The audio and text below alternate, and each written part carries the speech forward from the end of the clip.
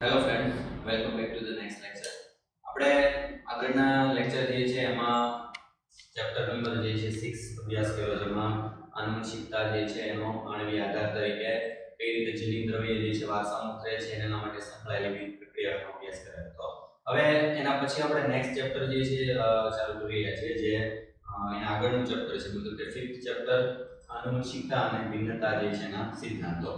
Indirectly આપણને જે છે વિભાગની અંદર આનો સમાવેશ થાય છે. વિભાગનું નામ છે જીનેટિક્સ બરાબર? એટલે આખા 12th જે છે એમાં સૌથી અગત્યનું ચેપ્ટર ગણી શકાય અને સમજવાની દ્રષ્ટિએ ખૂબ જ ઇન્ટરેસ્ટિંગ ચેપ્ટર એટલે સૌથી પહેલા જે છે ચેપ્ટર જે છે એનો અર્થ અને આજે આખું ચેપ્ટર શરૂ કરતા પહેલા આ ચેપ્ટરમાં કેટલાક એવા વર્ડ્સ આવશે વર્ડ્સ જે છે, એનો અર્થ શું છે, એના વિશે સામાન્ય માહિતી મેળવી લઈએ અને ખાસ કરીને આ ચેપ્ટર જે છે, એમાં બહુ બધા વૈજ્ઞાનિકોના નામ પણ આવશે. એટલે દરેકે દરેક વૈજ્ઞાનિકો જે છે, એનું કાર્ય કયું છે એ પણ પૂછાય છે, એટલે સાથે સાથે આપણે જોતા જઈશું. બરાબર? એટલે સૌથી પહેલા સ્ટાર્ટ કરીએ.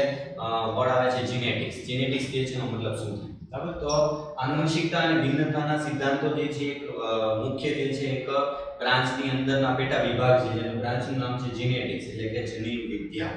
બરાબર એટલે સૌથી પહેલો શબ્દ આવે જનીન વિદ્યા જે છે, શું છે અને આ શબ્દ આપનાર વૈજ્ઞાનિક કોણ છે? તો શરૂઆત કરીએ સૌથી પહેલા જેનેટિક શબ્દ જે છે આપનાર વૈજ્ઞાનિક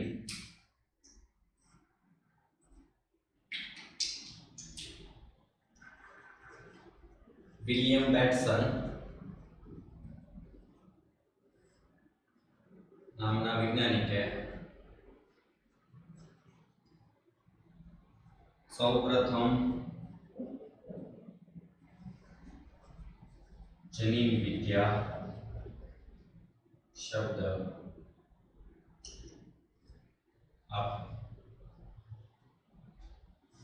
સૌથી પહેલો ક્વેશ્ચન જીનેટિક્સ અથવા તો જનીન વિદ્યા વર્ડ આપનાર વૈજ્ઞાનિક કોણ છે? વૈજ્ઞાનિક જે જેનું નામ થશે વિલિયમ બેટસન. હવે બેટસન નામના વૈજ્ઞાનિક જે છે, એણે સૌથી પહેલા જીનેટિક્સ વર્ડ વાપર્યો. હવે બીજી બાબત અગત્યની કે જીનેટિક્સ જે છે શું છે? જનીન વિદ્યા જે છે શેની અંદર જે છે એનો સમાવેશ થાય છે? જીનેટિક્સ વાળો ભાગ જે છે, એના બે મુખ્ય વિભાગ છે. મતલબ કે આખે આખું જીનેટિક્સ જે છે, એના બે આખા આધાર છે. એમાંના બે આધાર એ તમારું ચેપ્ટરનું નામ છે. એમાં પહેલો આધાર છે આનુવંશિકતા. બીજો આધાર છે ભિન્નતા. ઇનહેરિટન્સ અને વેરિએશન બરાબર? વર્ડ જે છે આપણે આગળ ઓલરેડી ભણી ગયેલા છે. બરાબર? તેમ છતાં ટૂંકમાં જે સમજી લે. આખી જનીન વિદ્યા બ્રાન્ચ જે છે, બરાબર, એના બે મેઇન આધાર સ્તંભ છે. એક છે આનુવંશિકતા બીજો ભાગ છે ભિન્નતા. ટૂંકમાં લઈએ આનુવંશિકતાનો મતલબ શું થશે? કે માતા પિતા જે છે, પિતૃઓના લક્ષણો જે છે, એના સંતાનોમાં ઉતરી આવવાની ઘટના. આવી ઘટના જે છે, આનુવંશિકતા તરીકે ઓળખાય. અને જે માતા પિતામાંથી સંતાનોમાં લક્ષણો વારસા મળે છે એ મળતા લક્ષણો જે છે, એનાથી એની પછીની પેઢી જે છે, એમાં થોડો થોડા વેરિએશન આવે છે, લક્ષણો થોડા થોડા બદલાય છે. એ જે લક્ષણોમાં જોવા મળતું જુદાપણું એ થશે ભિન્નતા. એટલે બંને જે છે એનો ટૂંકમાં પહેલા અર્થ લખી લઈએ. તો આનુવંશિકતા જે છે એનો અર્થ થશે પિતૃ તરફથી સંતાન પેઢીમાં લક્ષણો વારસામાં ઉતરી આવવાની ઘટના.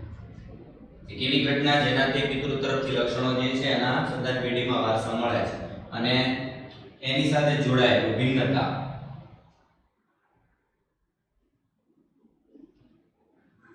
દરેક સજીવોમાં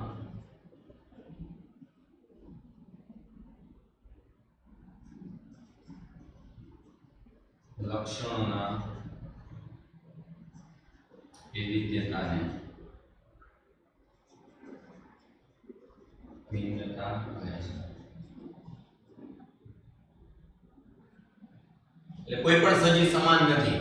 કંઈક ને અંશે જે છે એમાં કંઈક જુદાપણું જોવા મળે છે. એ બે સજીવો જે છે, કોઈ પણ જાતિ, એક જાતિના હોય કે અલગ અલગ જાતિના હોય, એમાં કંઈક ને કંઈક અંશે જુદાપણું જોવા મળે. એ જુદાપણું હોવા માટેની જવાબદાર ઘટના કઈ છે? એ ઘટનાનું નામ છે ભિન્નતા અથવા તો વેરિએશન દરેક સજીવમાં જોવા મળતા લક્ષણોના વિવિધતા, બરાબર? લક્ષણોમાં જોવા મળતી વિવિધતા. વિવિધતા જે છે એને નામ આપ્યું છે ભિન્નતા. અને ભિન્નતા અને આનુવંશિકતા આ બંને બ્રાન્ચ જે છે બંને તબક્કા સાથે જોડાયેલું વિજ્ઞાન. વિજ્ઞાનનું નામ છે જીનેટિક્સ આ વર્ડ પણ આપ્યો છે. જીનેટિક્સ વર્ડ જે છે આપણા વૈજ્ઞાનિક છે, વિલિયમ બેટ્સન બરાબર? હવે આનુવંશિકતા ભણવાનું છે, આખા ચેપ્ટર જે છે, અડધો ભાગ આનુવંશિકતા છે. એના માટે કયા કયા પ્રયોગો થયેલા છે, એના પછી કારણ મળેલા છે, એ. અને એના પછી આપણે ભિન્નતા જે છે, ભિન્નતા શું છે, કઈ રીતે વારસામાં જે ભિન્નતા મળે છે, એના માટે જવાબદાર ઘટકો કયા કયા છે, એના વિશે આપણે અભ્યાસ કરશું. બરાબર? હવે એના પછી આજે આખા ચેપ્ટર જે છે, એમાં સાથે સંકળાયેલા કેટલાક વૈજ્ઞાનિકોના નામ કયા કયા છે જોઈએ. તો આગળ જેમ આવી પ્રમાણે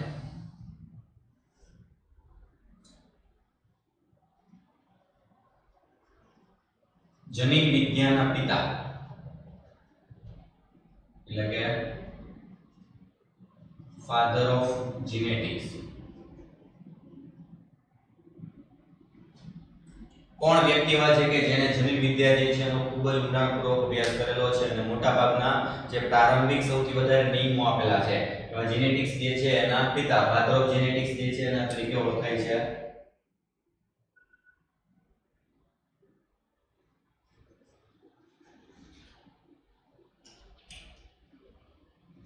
જી જે મોર્ગન એટલે કે થશે Greg John Mendel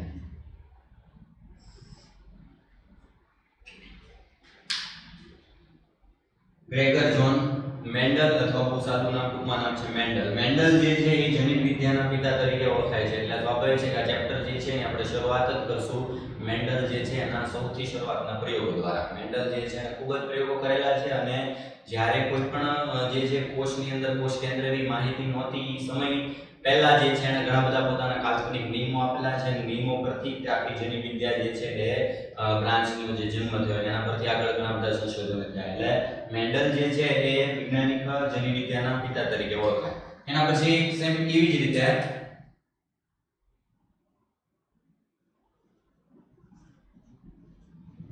આધુનિક જનીન વિદ્યાના પિતા.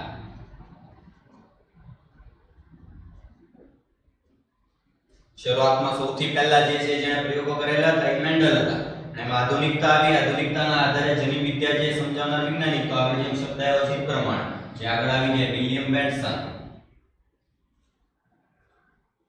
વિલિયમ બેટ્સન જે છે એ આધુનિક જીવ વિજ્ઞાનના પિતા તરીકે ઓળખાય. મોડર્ન જે છે ફાધર ઓફ જીનેટિક્સ અને એવી જ રીતે ત્રીજું આવશે. પ્રાયોગિક જનીન વિજ્ઞાનના પિતા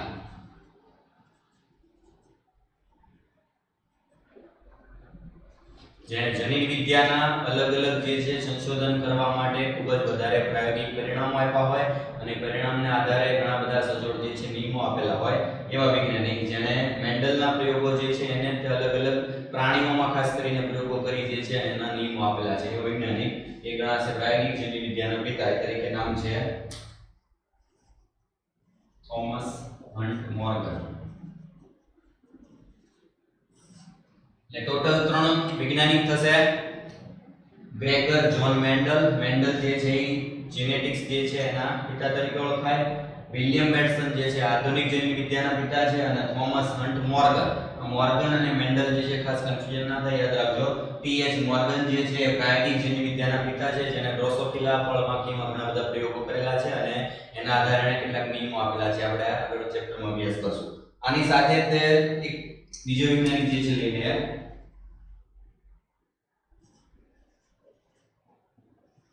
જમીન શબ્દ આપનાર વૈજ્ઞાનિક જેણે સૌથી પહેલા જમીન જે જેવો શબ્દ આપેલો છે, એ વૈજ્ઞાનિકનું નામ છે જોહાન્સન એટલે સાથે સાથે ફરીથી વૈજ્ઞાનિક જે છે એનું નામ યાદ રાખો. ટોટલ જે છે, ચાર વૈજ્ઞાનિક છે, મેન્ડલ, વિલિયમ બેટસન, મોર્ગન અને જોહાન્સન. જોહાન્સન નામના વૈજ્ઞાનિકે સૌથી પહેલા જનીન જીન શબ્દ જે છે એનો ઉપયોગ કર્યો કે જેના પરથી ખ્યાલ આવ્યો કે જનીન જે છે, મુખ્ય આખા આ જે જીનેટિક્સ જે છે એનો પાયાનો એકમ છે. અને પાયાના એકમ દ્વારા આનુવંશિકતા જે બધી થાય છે. એટલે વૈજ્ઞાનિક જોડકા પ્રમાણે ક્વેશ્ચન પૂછાય છે. ચાર ચાર વૈજ્ઞાનિકના નામ અને કોણ કોની સાથે જે સંકળાયેલું છે એના સાથે યાદ રાખવાનું છે. હવે, આખા જીનેટિક્સ જે છે ચેપ્ટર ભણશો એમાં ચેપ્ટરમાં કેટલાક અમુક શબ્દ આવશે જે શબ્દ પહેલા સમજવા જરૂરી છે, જેના આધારે આપણે એના પ્રયોગો જે છે એ સમજવાનો ટ્રાય કરશું. એટલે સૌથી પહેલા કેટલાક વર્ડ લઈએ. તો એમાં કારક એલ સૌથી પહેલો શબ્દ છે કારક. કારક જે છે શું છે કોણ આગળ? કારકનું નામ આપના વૈજ્ઞાનિક છે સૌથી પહેલા મેન્ડલ છે. મેન્ડલના કારકો તરીકે પણ ઓળખાય. મેન્ડલના કારકો જે અનુમાનિત આનુવંશિકતાનો જવાબદાર એકમ છે. સૌથી પહેલા કોઈ વૈજ્ઞાનિકે જો અભ્યાસ કરેલો હોય, બરાબર, કે કોના દ્વારા જે છે આનુવંશિકતા થાય માતા પિતામાંથી લક્ષણો જે છે વારસામાં કોણ આપે છે? તો સૌથી પહેલા વર્ડ આપનાર વૈજ્ઞાનિકના મેન્ડલ મેન્ડલે પોતે એક અનુમાનિત વર્ડ આપ્યો. વડનું નામ કારક અથવા એલએલ એલએલ વર્ડ જે છે, એવો વર્ડ છે કે જેણે માન્યું કે આ શબ્દ જે છે, કોઈ એવો એક ઘટક છે કે જે માતા પિતાના લક્ષણો એના સંતાન પેઢી જે છે આમાં વારસામાં ઉતારે છે. એવા ઘટક જે છે નામ આપ્યું મેન્ડલના કારકો, એટલે કારક શબ્દ આપનાર મેન્ડલ અને શું છે, તો કે આનુવંશિકતાનો જવાબદાર એક. કે કોઈ એવો ઘટક છે, બરાબર શું છે, કોઈ એની સાબિતી નહોતો આપી શકે અનુમાનિત ઘટક હતો. પણ એને કીધું હતું કે આ ઘટક દ્વારા વારસામાં જે છે, મળે છે. માતા પિતાના લક્ષણો વારસામાં જોવા મળે જવાબદાર. કારક જે છે શબ્દ વપરાય છે. કારક સાથે સંકળાયેલો વિજ્ઞાન. એના પછી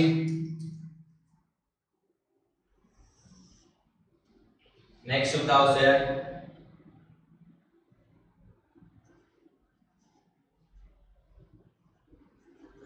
જમીન સ્વરૂપ.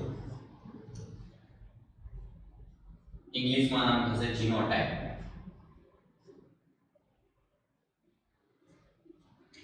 જનીન સ્વરૂપ જે છે એનો મતલબ શું? તો બે આવા વર્ડ છે. બાકી જે છે ચેપ્ટરમાં ભણશો એટલે તમને ખ્યાલ આવશે જીનોટાઇપ્સ અને ફિનોટાઇપ એવા બે વર્ડ છે. સૌથી પહેલું સમજી લે જનીન સ્વરૂપ એટલે શું? તો સમજી લો કે કોઈ પણ એક લક્ષણ છે શરીરમાં, એ લક્ષણ જે છે એના માટે જવાબદાર આપણા શરીરમાં ચોક્કસ એક જનીન આવેલું હોય. અને મેન્ડલે સૌપ્રથમ એવું કીધું હતું કે જનીન જે છે એ જોડમાં જ આવેલા હોય. જેમ આપણે જાણીએ છીએ કે જોડમાં હોય તો સ્વાભાવિક છે કે રંગસૂત્રનો એક બંધારણીય ભાગ જનીન છે. તો જનીનોની ચોક્કસ જોડ આવેલી હોય એ જનીનની જોડ જે છે કઈ છે? એ જનીનની જોડના માટે શબ્દ વપરાણો જનીન સ્વરૂપ. એટલે આપણે બહુ સાદી ભાષામાં લખીએ તો થશે કોઈ પણ ચોક્કસ લક્ષણ માટે જવાબદાર જનીનનો પ્રકાર. લક્ષણ કયું છે અને એના માટે જવાબદાર જનીન કયું છે? અને જનીન માટે આપણે ચોક્કસ જે છે કેપિટલ અથવા સ્મોલ જે છે કેપિટલ અક્ષરનો ઉપયોગ કરીએ છીએ. બરાબર? ઉદાહરણ તરીકે જે ટેક્સ્ટમાં આવે છે, ઉદાહરણ જેમ કે ઉદાહરણ તરીકે વટાણાના છોડની લંબાઈ. આમાં જે ઉદાહરણ આવે છે ઉદાહરણ આપું છું. વટાણાનો છોડ જે છે ની લંબાઈ કેવી છે? તો કે લંબાઈ જે છે એના આધારે વટાણાના છોડ બે પ્રકારના છે. એક પ્રકાર છે ઊંચો છોડ, બીજો પ્રકાર છે નીચો છોડ.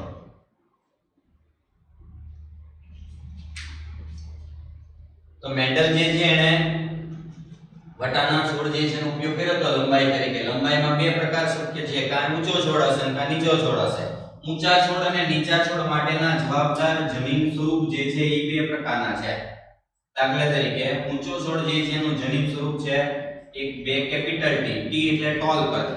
કેપિટલ ટી જે છે અને સ્મોલ ટી ઓવર્ડ વાપરેલ ટોલ પરથી. અને ઊંચા છોડ માટે બીજો વર્ડ આવશે કેપિટલ ટી સ્મોલ ટી નીચા છોડ માટેનું જમીન સ્વરૂપ છે બંને સ્મોલ ટી બરાબર? એટલે જો જનીન પ્રકાર શું છે? તો જનીન પ્રકાર એટલે કે વટાણાના છોડની લંબાઈ જે છે દર્શાવવા માટે ત્રણ અલગ અલગ પ્રકારના જનીન પ્રકાર શક્ય છે. એક છે બંને કેપિટલ ટી બીજું છે કેપિટલ ટી અને સ્મોલ ટી અને ત્રીજું છે બંને સ્મોલ ટી જનીનો જોડમાં હોય એટલે આપણે બે અક્ષરો જે છે દર્શાવેલા છે. આપણે આગળ પણ શું કહેવાય કેપિટલ શું કહેવાય, કોને સ્મોલ લેટર જે છે શું કહેવાય. એટલે કેપિટલ બંને સ્મોલ ટી બંને કેપિટલ ટી બંને સ્મોલ ટી અને બંને એક એક હોય. એના આધારે એના પાછળ પેટા પ્રકાર પડે છે? પણ આ જનીન સ્વરૂપ જે છે એના તરીકે ઓળખી શકીએ. બરાબર? એવો જ બીજો વર્ડ જે છે એ આવશે સ્વરૂપ પ્રકાર. જેને કહેવાય ફિનોટાઇપ.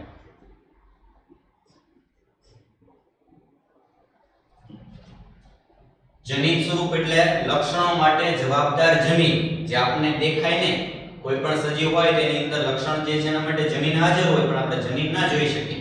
એ જનીન કયા કયા પ્રકારના હોય એના જનીન પ્રકાર કહેવાય. પણ એ પ્રદર્શિત કયા સ્વરૂપે થાય છે? બરાબર દાખલા તરીકે આ ત્રણ પ્રકારના જનીન પ્રકાર છે, પણ એ જ્યારે પ્રદર્શિત થશે, મતલબ કે બાર લક્ષણ દેખાડશે, ત્યારે લક્ષણ બે જ રીતના દેખાડશે. જેમ કે આ જ ઉદાહરણ માટે લઈએ તો વટાણાના છોડ કાં તો ઊંચો છોડ હોય ને કાં તો નીચો છોડ હોય. તો ઊંચો છોડ જે છે એમાં ઊંચું લક્ષણ એનું સ્વરૂપ પ્રકાર કહેવાય. નીચો છોડ તો નીચું લક્ષણ જે છે એ કહેવાય એનું જે છે બીજા પ્રકારનું સ્વરૂપ પ્રકાર છે. સ્વરૂપ પ્રકારનો અર્થ શું થશે?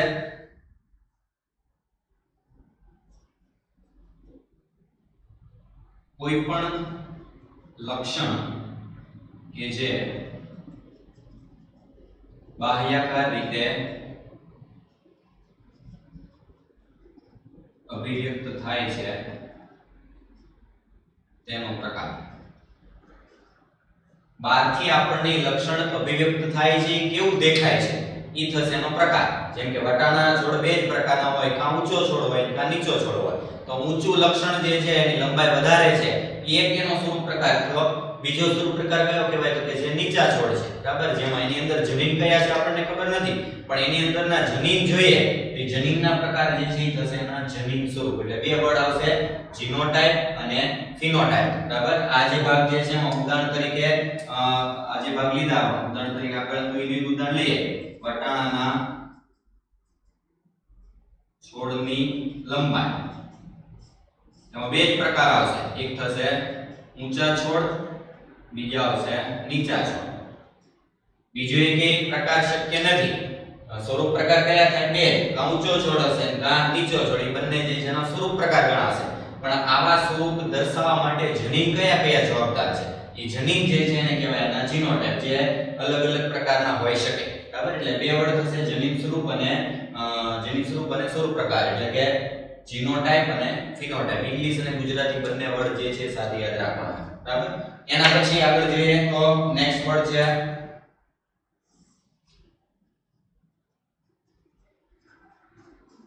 સમયુગ્મી જની અને વિષમયુગ્મી જની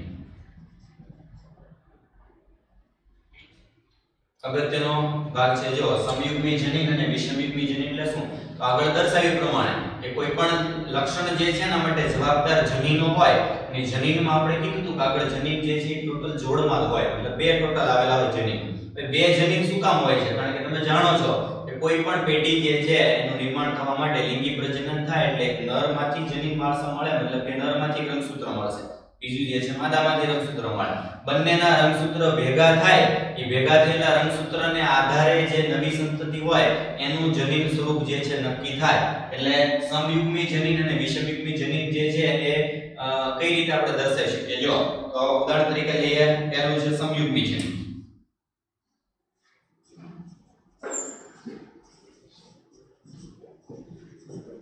સમયુગ્મી જનીન સ્વરૂપ. તો એનો અર્થ લખીએ.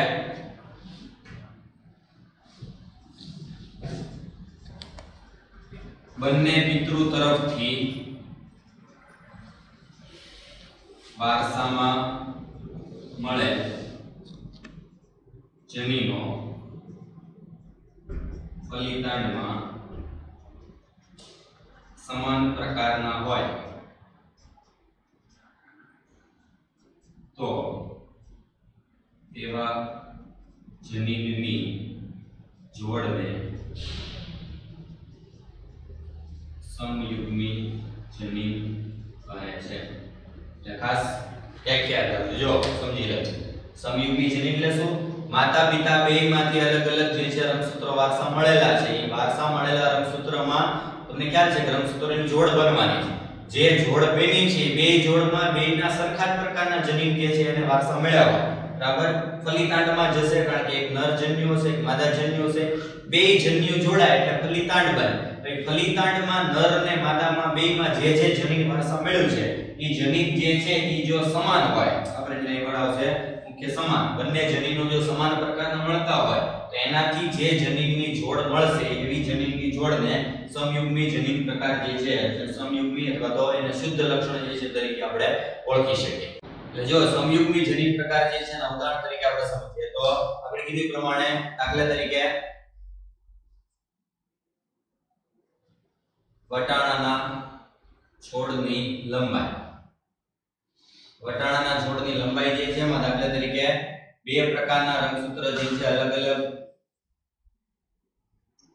પિતૃ જે છે એમાંથી વારસા મળેલા છે. એક જે છે નર જન્યુ બીજું મળેલું છે. માદા જન્યુ બંને જન્યુ જે છે જોડાય નિર્માણ થાય ફલિતાંડ. આગળ શું કીધું? જો, કે ફલિતાંડમાં બંને જન્યુમાંથી મળેલા જનીનનો પ્રકાર. બરાબર? નર જન્યુ અને માદા જન્યુ નરજન્યુમાંથી નર જન્યુમાંથી મળેલું વારસામાં આવેલું એક જનીન છે દાખલા તરીકે કેપિટલ ટી. માદા જન્યુ જે છે એમાંથી વારસામાં મળેલું જનીન છે કેપિટલ ટી. તો આ જે ફલિકાંડ જે છે, મતલબ કે જે છોડ મળશે, એ છોડમાં એનો જનીન પ્રકાર જે છે એ થશે બંને કેપિટલ ટી. અને બંને કેપિટલ ટી જ્યારે બંને પ્રકારના જનીનો સમાન હોય, તો આવા પ્રકારના જે છે એ જનીનને કહેવાય સમયુગ્મી જનીન. બીજો આનાથી ઓપોઝિટ એક્ઝેક્ટ એ તમને આના પરથી ખ્યાલ આવી જાય એટલે સેમ પછીનો ભાગ થશે વિષમયુગ્મી જનીન.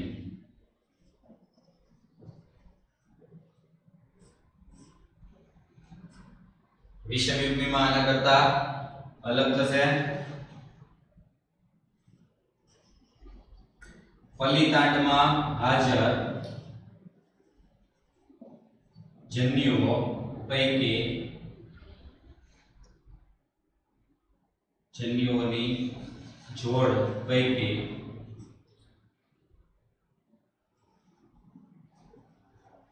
એક જન્યુ નરમાંથી ભિન્ન હોય તથા બીજા જન્યુ માદામાંથી પણ ભિન્ન હોય. તેવી જનીનની જોડને ફલિતાની અંદર આ જુદાળ જે છે એમાં, પણ એક જનીન વારસા મળેલું છે, નર જન્યુ જે છે એમાંથી. એ અને બીજા જનીન જે છે, એમાં લક્ષણીનું એ છે, પણ વારસામાં મળેલું જનીન બદલાઈ જાય. ઉદાહરણ તરીકે, રંગસૂત્રની જોડ છે, એકમાં વારસા મળ્યો છે, કેપિટલ ટી, બીજામાં વારસા મળ્યો સ્મોલ ટી. બરાબર? એટલે કે એક ભાગ જે છે, થશે આ નર જન્યુમાંથી મળતું જનીન, બીજું જે છે, એ થશે માદા જન્યુમાંથી. નર અને માદા જન્યુ બંનેનું જોડાણ થશે તે નિર્માણ થશે ફલિતાંડ. આ ફલિતાંડનો જનીન પ્રકાર થશે કેપિટલ ટી અને સ્મોલ ટી ઉદાહરણ તરીકે કેપિટલ ટી અને સ્મોલ ટી ઉદાહરણ કોનું લીધું છે? કે વટાણાના છોડ જે છે એની લંબાઈમાં. મતલબ કે આવા જે છોડ જે છે, બરાબર? એમાં અને એમાં તફાવત શું છે? તો કે આમાં બંને જનીનો સમાન હતા. આ સમયુગ્મી જનીન છે અને સમયુગ્મી ઊંચો છોડ છે. ઊંચા છોડ તરીકે સમયુગ્મી એમાં જનીન પ્રકાર આવેલો છે. જ્યારે આમાં બંને જુદા છે. વિષમયુગ્મી છે. આ પણ ઊંચો છોડ છે. સુકામાં બંને ઊંચા છોડ છે એ આપણે આગળ સમજશું. બરાબર? અત્યારે પૂરતી ખાલી આટલું યાદ રાખજો જો, બંને વટાણાના છોડની લંબાઈ વધારે છે, બે ઊંચા છોડ જ છે. પણ એક વટાણા જે એના છોડમાં એવો પ્રકાર છે કે જેમાં બંને જનીનો સમાન મેળાપ કરશે તો આવા જે ઊંચા છોડ જે છે, એમાં રહેલા જનીનને સમયુગ્મી જનીન કહેવાય. અને આવો છોડ જે છે એને કહેવાય શુદ્ધ છોડ. શુદ્ધ લક્ષણ. જ્યારે જે લક્ષણ જે છે એમાં એક જનીન બીજા જનીન કરતા જુદું હોય, મતલબ કે ટોટલ જોડમાં બંને જનીનો જુદા જુદા વારસા મેળવ્યા હોય આવા જનીનની જોડને વિષમયુગ્મી જનીન તરીકે ઓળખી શકાય, બરાબર? અને એને અશુદ્ધ છોડ જે છે એના તરીકે પણ વર્ણવી શકાય. એટલે બે અલગ અલગ પ્રકાર સમાસ શબ્દ આવશે એકમાં સમયુગ્મી એકમાં વિષમયુગ્મી એટલે ફરીથી બંને જે છે એનું ઉદાહરણ આપી આગળ જો તમને ખ્યાલ આવશે, જેમ કે આગળ લીધું તો કે વટાણાની, વટાણાના છોડની લંબાઈ. વટાણાના છોડની લંબાઈ જે છે, એમાં આગળ મેં કીધું તે પ્રમાણે કે બે પ્રકારના વટાણાના છોડની લંબાઈ હોઈ શકે. જેમ એક છે ઊંચો છોડ અને બીજો છે નીચો છોડ વામન છોડ બંને ઊંચા છોડ અને નીચા છોડ માટેના જનીન પ્રકાર લખીએ. આ બંને શું થયું તો કે સ્વરૂપ પ્રકાર. જનીન પ્રકાર બે પ્રકારના છે.